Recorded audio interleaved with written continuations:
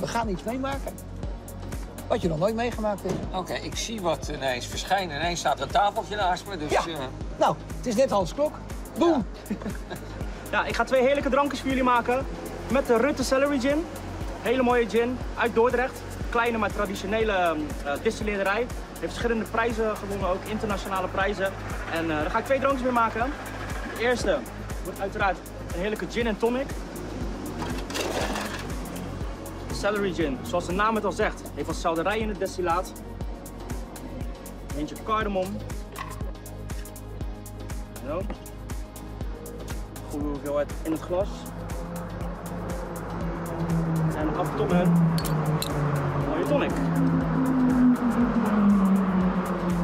En bij de mooie groene smaken van de selderij gaat natuurlijk een verse selderijstik.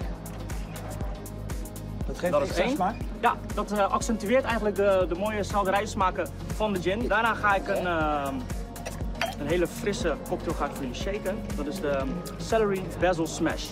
Zo. Ik wil wel even kijken, die man. Misschien is die wel veel lekker. Goed, goed, dan zetten we hem in het Ik midden. zou er nog heel even mee wachten. Ja, hij is wel lekker koud. Ja, een Celery? Basil Smash zomertje.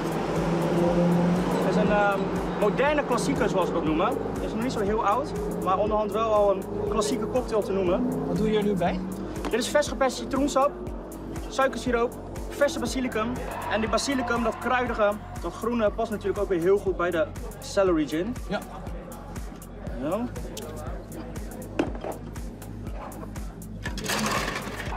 Nou, de mooie smaken van de basilicum, die gaan we even eh, openen om goed, eh, door hem goed te shaken.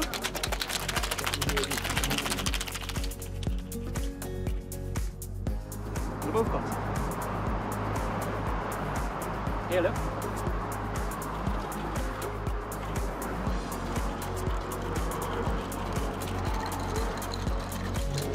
We willen niks verspillen natuurlijk. Nee. Heren we hem af met twee mooie basilicumblaadjes. Zo.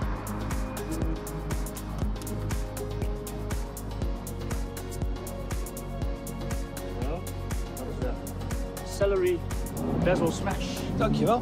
Alsjeblieft. Nou, eh, Jij Eerst- dacht ik wel. Nee, we delen. Alsjeblieft niet.